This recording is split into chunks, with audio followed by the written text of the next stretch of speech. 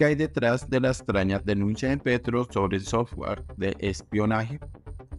Calificada por sus opositores como un globo o reprito, la denuncia del mandatario tiene algunas inconsistencias que revelan las grietas de su estrategia y despiertan preguntas más allá de los puestos. Al presidente Gustavo Petro no le gusta leer teleprompter en casi ningún escenario, pero en la locución de la noche del 4 de septiembre, en la que el país esperaba que se refiriera al paro camionero o que declarara incluso el estado de conmoción interior, el mandatario leyó una carta al pie de la letra como si fuera un teleprompter. Tuvieron que pasar varios minutos para que la audiencia entendiera el punto central de su mensaje, casi tan cifrado como los números y nombres en inglés que leía. En junio-agosto de 2021, un barco israelí presentó un reporte de actividad inusual en relación con un depósito de 5,5 millones de dólares en efectivo en la cuenta de la empresa, es decir, en Israel. El pago estaba relacionado con un acuerdo por 11, 11 millones de dólares firmado entre NSS Technologies Limited y la Dirección de Inteligencia Colombiana IPOL por la compra de Pegasus. IPOL compró en efectivo por 11 millones de dólares un software para espiar celulares en medio del estallido social y antes de las campañas, dijo el jefe Star.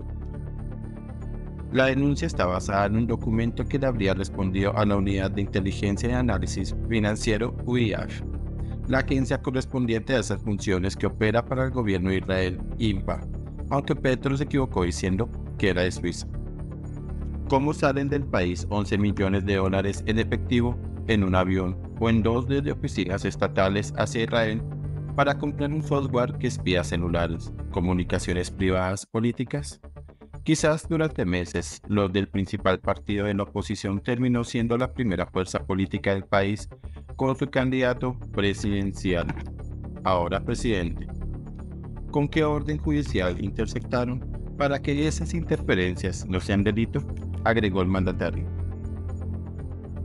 Calificada por sus opositores como un globo o refrito, la denuncia del presidente Petro tiene algunas inconsistencias que revelan las grietas de su estrategia y despiertan preguntas más allá del anuncio. ¿Por qué hacer esa denuncia en pleno paro camionero?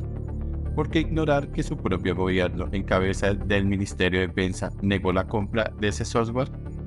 Más allá de esa carta que prueba que tiene el ejecutivo de dicha adquisición y por qué no han sido publicadas.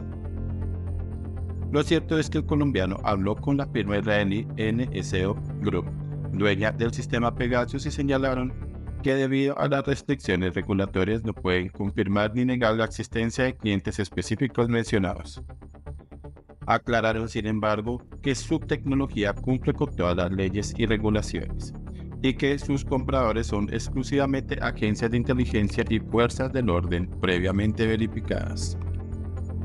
El jefe de Estado presentó como nueva una información que ya había sido expuesta no solo en Colombia, sino en el exterior.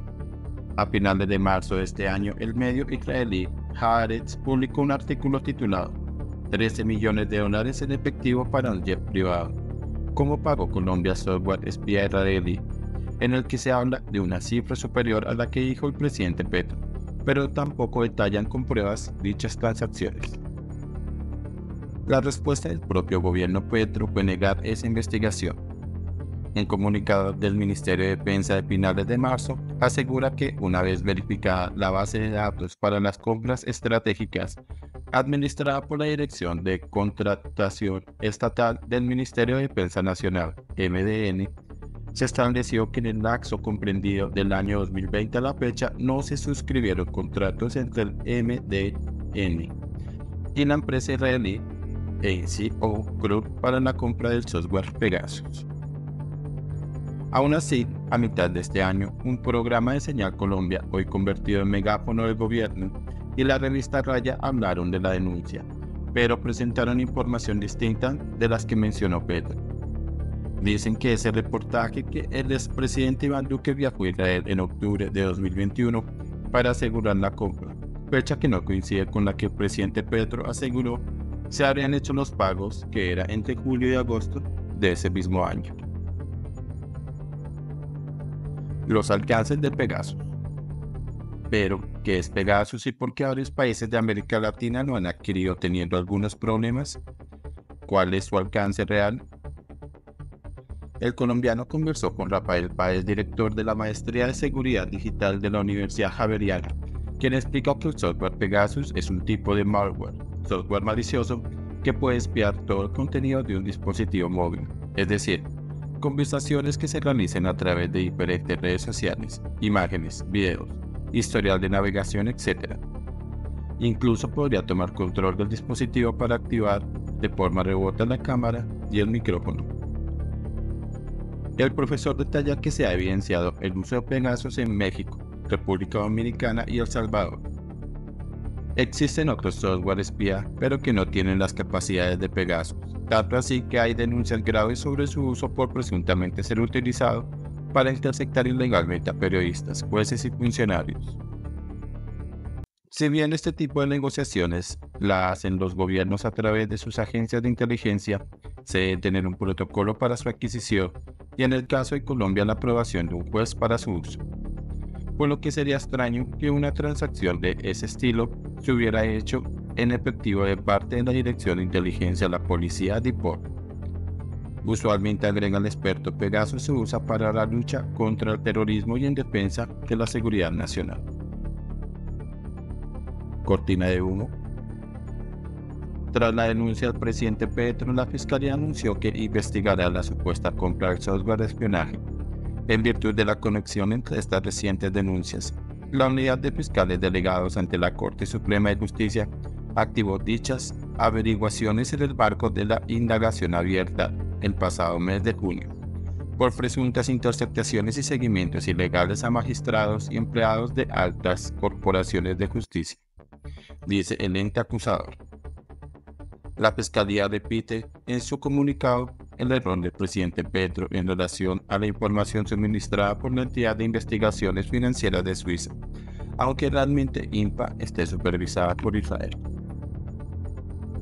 Por todo lo anterior surge el gran interrogante de por qué el presidente Petro decía hacer esta denuncia en pleno paro camionero.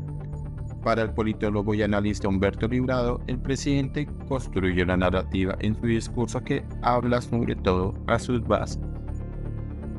Mientras estamos esperando a que señale datos a propósito del paro que afecta a todo el país, retoma un momento significativo para sus simpatizantes como lo fue el estallido social.